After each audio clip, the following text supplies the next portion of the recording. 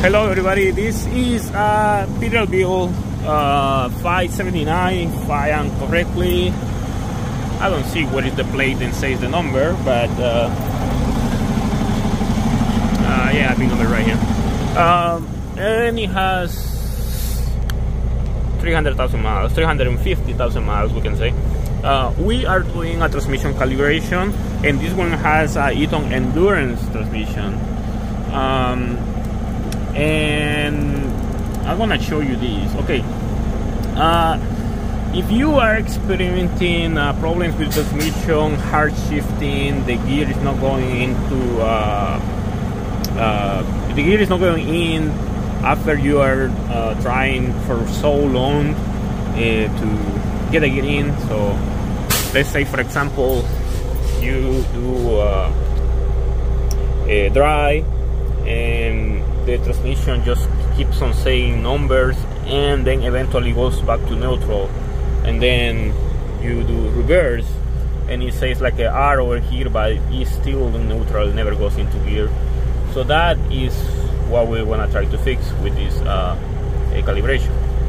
So the calibration consists on uh, the rail calibration. The rail calibration means that we are going to calibrate the uh, travel between uh, one gear position to another position and to the highest gear and all that. So when you do the calibration, you have to be sure that you have no faults.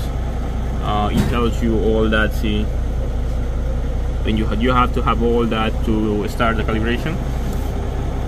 And these are the conditions.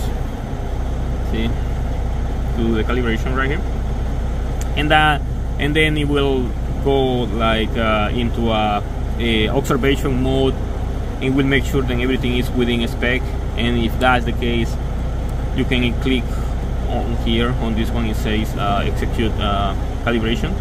You click on it and it will start the calibration. When the calibration happens you're gonna hear so many noises like clack noises uh, gear going in and all that. That's completely normal because the uh, transmission is uh, a, a learning the new travel of each specific gear and the and the and the range selection. Um, so you can relearn and do the proper procedure to introduce the gears correctly. When you do that um, after after you do that uh, it will send this error I mean this message right here. It says service routine finished and zero errors zero faults were reported um, if that is the case it means that you have a good transmission or something if you have any faults right here if it says one error, one fault, whatever, um, that's something that you need to address and fix. You need to follow the troubleshooting or follow the fault codes and see what is the uh, a, a fault about and repair it, and then continue on uh, do another calibration to fix the issue. Once you do that, they're gonna send you this information right here. This information is basically the whole uh, information about how each calibration was. See we have the air pressure. Uh, we will have these uh, uh, millibars and the number right here. See, it dropped a little. That's normal because the air is used for these automatic transmissions. But then we have the calibration of the rails, and in this case, see, we have all these uh, numbers, and they're all the same. See these numbers are the same so we have no calibrations updates uh, on this one. But then we have this one see we have before and after. So we have difference on numbers. So we had calibrated this rail then was out of calibration um, and then we continue on the next one which is the C. Oh sorry. Went down. Okay so the same thing see we had calibrated this one because it was out of calibration. You can see the variation of numbers. And we continue to the D number the real D. Same thing see calibrated completely. It was out of calibration. And the last one will be E.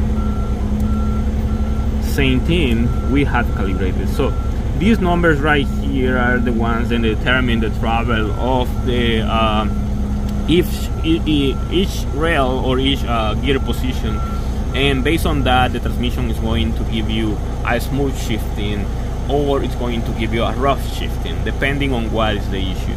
So be sure to calibrate your transmission if you have problems like this but for this you're gonna need the specific software which is the Eaton, Eaton Service Ranger uh, for uh, Eaton transmissions in this case the Endurant transmission uh, if you don't have this um, software you um, you may have a little hard time trying to do this process but uh, the only way to do is with this.